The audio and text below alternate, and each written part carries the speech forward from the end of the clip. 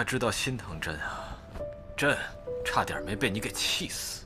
你要是再逼我承认跟他有奸情，那我还得气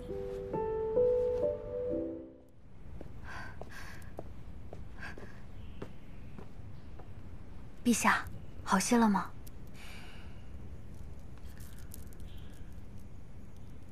白露那件事，你再仔细跟朕说一说。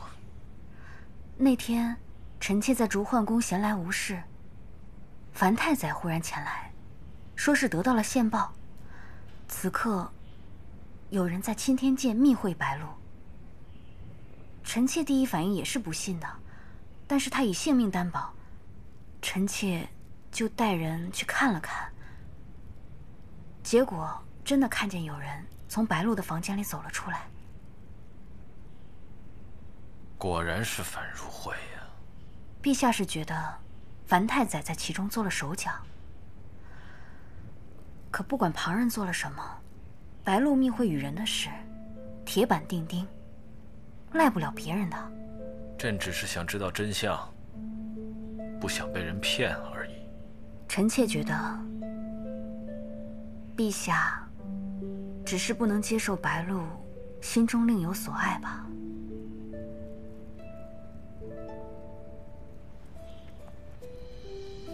你是在说朕吃醋了吗？陛下心里怎么想，臣妾不敢猜测。可是，臣妾是女人，看得出来。看得出什么？陛下喜欢白露。好了，你僭越了。臣妾不敢。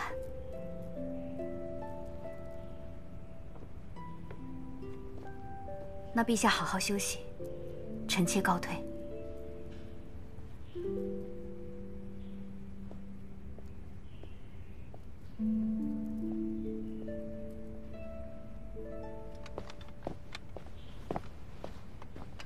陛下，怎么了？臣窥听了樊征的言语，白坚正这件事，樊太宰肯定从中做了手脚。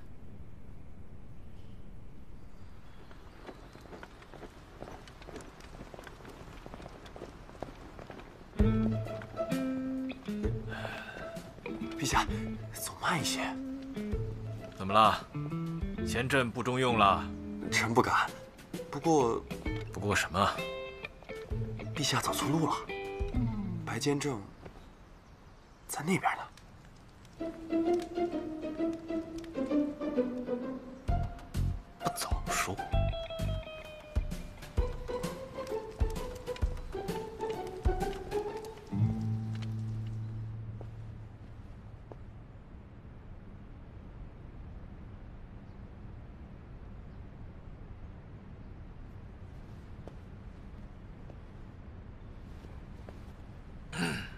陛下，您怎么出来了？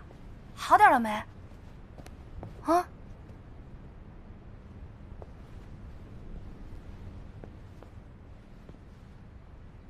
你到底想清楚了没有啊？什么想清楚了？哎呀，我就说你赶紧先回去吧，你现在受凉还没好呢。你还知道心疼朕啊？朕差点没被你给气死。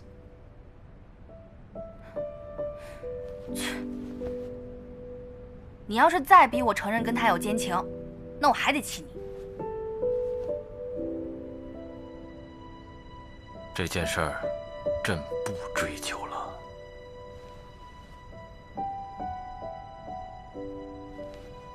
老实说，你曾做过什么，和你不曾做过什么，朕都知道。朕只是不想被人骗而已。你知道是在骗你就好。不过这监正之位还是太招人妒忌，先做回主事吧。我巴不得呢。